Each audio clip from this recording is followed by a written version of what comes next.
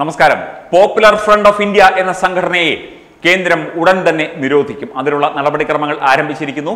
Popular front പ്രവർത്തകർക്കൊപ്പം അറസ്റ്റിലായ മാധ്യമ പ്രവർത്തകൻ എന്ന പേരിൽ അറിയപ്പെടുന്ന സിദ്ദിഖ് കാപ്പൻ എന്ന വ്യക്തിയുടെ കേസുമായി ബന്ധപ്പെട്ട വിശദാംശങ്ങൾക്കിടെയാണ് ഇത്തരത്തിൽ ഒരു നടപടിക്രമങ്ങളും ഇത്തരത്തിൽ ഒരു ചർച്ചയുമൊക്കെ ഉണ്ടായത്.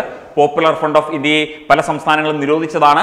ഇന്ത്യയിൽ ഒട്ടാകെ പോപ്പുലർ ഫ്രണ്ടിനെ നിരോധിക്കണം എന്ന ആവശ്യം നേരത്തെ തന്നെ ഉണ്ടായിരുന്നു. കാരണം പോപ്പുലർ ഫ്രണ്ട് ഓഫ് ഇന്ത്യ തുർക്കിയിലെയും അതുപോലെ തന്നെ വിവിധ വിദേശ രാജ്യങ്ങളിലെയും പാകിസ്ഥാനിലെയും ഒക്കെ ആ, ആ, ഭീകര സംഘടനകളുമായി ചേർന്ന് പണമിടപാടും ആയുധ ഇടപാടും മയക്കുമരുന്ന് ഇടപാടും ഒക്കെ നടത്തുന്നതായുള്ള വാർത്തകളും സംശയങ്ങളും അഭ്യൂഹങ്ങളും ഒക്കെ നേരത്തെ തന്നെ അന്താരാഷ്ട്ര മാധ്യമങ്ങളടക്കം റിപ്പോർട്ട് ചെയ്തിരുന്നു.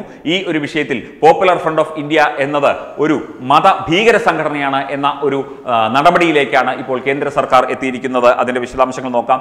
പിന്നെ പോപ്പുലർ ഫ്രണ്ട് ഓഫ് ഇന്ത്യ നിരോധിച്ചു കഴിഞ്ഞാലും പുതിയൊരു പേരിൽ പുതിയൊരു സംഘടനയുമായി വരാതിരിക്കില്ല എന്നുള്ള കാര്യമുണ്ട്. നേരത്തെ സിമി നിരോധിച്ചതാണ്. സിമി നിരോധിച്ചു കഴിഞ്ഞ് പിന്നീട് പല പേരുകളിൽ സിമിയുടെ പല പല ഘടകങ്ങളായി പലതും. കടന്നു വന്നു പല സംഘടനകളും കടന്നു വന്നു. പേര് മാത്രമേ മാറുന്നുള്ളൂ അവരുടെ പ്രവൃത്തിയും അവരുടെ രാജ്യദ്രോഹ നടപടികളൊന്നും മാറുന്നില്ല. അവരുടെ ഭീകര ഇടപാടുകളും അവരുടെ ഭീകരതയും ഒന്നും മതഭീകരത ഇങ്ങനെ വച്ചു പുലർത്തുന്ന രീതിയൊന്നും മാറുന്നില്ല എന്നുള്ളതാണ് വാസ്തവം. കൂടുതൽ ശ്രദ്ധിക്കേണ്ടിയിരിക്കുന്നു. തീവ്ര ഇസ്ലാമിക സംഘടനയായ പോപ്പുലർ ഫ്രണ്ട് ഓഫ് ഇന്ത്യയെ നിരോധിക്കാൻ ഒരുങ്ങി കേന്ദ്ര സർക്കാർ. സോളിസിറ്റർ ജനറൽ ഇക്കാര്യം സുപ്രീം കോടതിയിൽ വ്യക്തമാക്കി കഴിഞ്ഞു. ഹത്രാസിലേക്കുള്ള യാത്രക്കിടെ അറസ്റ്റിലായ സിദ്ദിഖ് കാപ്പൻ എന്ന വ്യക്തിയുടെ case പരിഗണിക്കവെയാണ് solicitor general Tushar Mehta popular front of India എന്ന സംഘടനയെ നിരോധിക്കുന്ന കാര്യം സുപ്രീം കോടതിയിൽ വ്യക്തമാക്കിയത്. Chief justice N V Ramana ജസ്റ്റിസുമാരായ സൂര്യകാന്ത് എ എസ് ബൊപ്പണ്ണ എന്നിവരടങ്ങിയ ബെഞ്ചാണ് സിദ്ദിഖ് കാപ്പന്റെ കേസ് പരിഗണിച്ചത്. നിരോധിത സംഘടനയായ സിമിയുമായും ഇസ്ലാമിക് സ്റ്റേറ്റുമായും ബന്ധമുള്ള സംഘടനയാണ് പോപ്പുലർ ഫ്രണ്ട്. സിദ്ദിഖ് കാപ്പന് പോപ്പുലർ ഫ്രണ്ടുമായി ബന്ധമുണ്ടെന്നും തുഷാർ മേത്ത കോടതി അറിയിച്ചു. പോപ്പുലർ ഫ്രണ്ട് ഓഫ് ഇന്ത്യയുടെ പ്രവർത്തകർക്കൊപ്പമാണ് സിദ്ദിഖാപ്പൻ പിടിയിലായത്. മാത്രമല്ല സിദ്ദിഖാപ്പൻ ഈ പോപ്പുലർ ഫ്രണ്ട് ഓഫ് ഇന്ത്യയുടെ ഡൽഹി ഓഫീസ് സെക്രട്ടറിയായും പ്രവർത്തിച്ചിരുന്നു എന്ന ഒരു അഭ്യൂഹമുണ്ട് എന്ന ഒരു വാർത്ത നേരത്തെ വന്നിരുന്നു. മാത്രമല്ല ഈ C A N R C വിരുദ്ധ സമയത്ത് ഏതാണ്ട് നൂറ്റി ഇരുപത് കോടിയോളം രൂപ പോപ്പുലർ ഫ്രണ്ട് സമാഹരിച്ചിരുന്നു. ഇവിടെ കലാപമുണ്ടാക്കാൻ സമാഹരിച്ചിരുന്നു എന്ന പരാതിയും എന്ന അന്വേഷണവും ഒക്കെ നിലനിൽക്കുന്നുണ്ട്.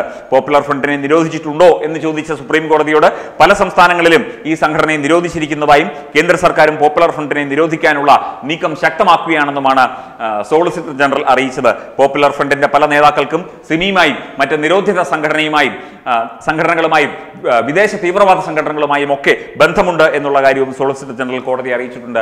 വളരെ പ്രധാനപ്പെട്ട ഒരു പോയിന്റിലേക്കാണ് എത്തുന്നത്. പോപ്പുലർ ഫ്രണ്ട് ഓഫ് ഇന്ത്യ ഇതുവരെ ഇന്ത്യയിൽ ഒരു സാംസ്കാരിക സംഘടന എന്ന പേരിൽ നടത്തിക്കൂട്ടിയ മതഭീകര ഭീകരത നിറയ്ക്കുന്ന വിഷയങ്ങളും മറ്റു കാര്യങ്ങളും ഒക്കെ തന്നെ തുഷാർ മേത്ത ചൂണ്ടിക്കാട്ടിയിട്ടുണ്ട്. കൃത്യമായി തന്നെ ഉള്ള ഒരു നടപടിയിലൂടെ പോപ്പുലർ ഫ്രണ്ട് ഓഫ് ഇന്ത്യ എന്ന സംഘടനയെ നിരോധിക്കാനുള്ള നീക്കത്തിലാണ് കേന്ദ്ര സർക്കാർ എന്നാണ് ഇപ്പോൾ സുപ്രീം കോടതിയെ കാര്യങ്ങൾ അറിയിച്ചിരിക്കുന്നത്. ഇതിന്റെ ബാക്കി നടപടിക്രമങ്ങളും സിദ്ദിഖാപ്പന്റെ കേസുമായി ബന്ധപ്പെട്ട സിദ്ദിഖാപ്പന്റെ കേസുമായി ബന്ധപ്പെട്ട പലതരത്തിലുള്ള ചർച്ചകളും വിവാദങ്ങളും ഒക്കെ കഴിഞ്ഞ കുറച്ച് ദിവസങ്ങളായി ഉണ്ടാകുന്നുണ്ട്. എന്നാൽ പോലും പോപ്പുലർ ഫ്രണ്ട് ഓഫ് ഇന്ത്യ എന്ന സംഘടന രാജ്യദ്രോഹ നടപടികളാണ് ചെയ്യുന്നത്. അതൊരിക്കലും ഇവിടെ അനുവദിക്കാൻ പാടില്ല. S D P I popular front of ഇന്ത്യയുടെ രാഷ്ട്രീയ പാർട്ടിയാണെന്നാണ് പറയുന്നത്. എല്ലാവരും ഒന്നാണ്. ഇനിയിപ്പോൾ പുതിയ പേരിൽ നിരോധിച്ചു കഴിഞ്ഞാൽ പുതിയ പേരിലും പുതിയ രൂപത്തിലും പുതിയ കുപ്പായമിട്ട് ഇത്തരത്തിലുള്ള സംഘടനകൾ വരാനുള്ള സാധ്യത കൂടി സുപ്രീം കോടതിയെ അറിയിച്ചിട്ടുണ്ട്. ഇന്ത്യയുടെ സോളിസിറ്റർ ജനറൽ എന്തായാലും വരും ദിവസങ്ങളിൽ ഇതിന്റെ നടപടിക്രമങ്ങളും ബാക്കി കാര്യങ്ങളും നിരോധനവുമായി ബന്ധപ്പെട്ട കാര്യങ്ങളും ഒക്കെ അറിയാൻ സാധിക്കും എന്നാണ് പ്രതീക്ഷിക്കുന്നത്. വെബ് ഡെസ്ക് തത്തുമൈ ന്യൂസ്